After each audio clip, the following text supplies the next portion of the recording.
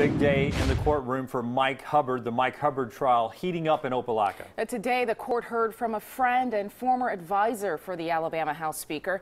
CBS 42 News reporter Mike McClanahan is live in Opelika with a wrap up of today's testimony. Mike?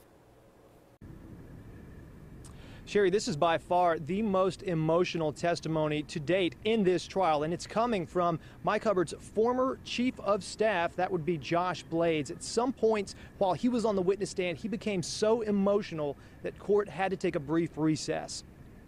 According to testimony from Mike Hubbard's former chief of staff, Josh Blades, in 2013, state health officer Don Williamson had a plan to save money by moving to a managed pharmacy plan for Medicaid. But independent pharmacies thought it would cut into their bottom line. A group Hubbard contracted with, ACPI, supported a different plan to let pharmacies run that program. Blades said he didn't find out about Hubbard's contract until that plan had already been added to the general fund budget while the House was in session. The former staffer testified he told Hubbard not to vote on it but said the speaker told him it would raise too many red flags if he didn't vote on his own budget.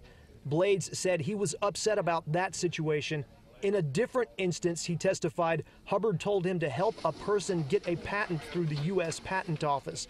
Blades said Hubbard told him he had, quote, 100,000 reasons to get this done, end quote.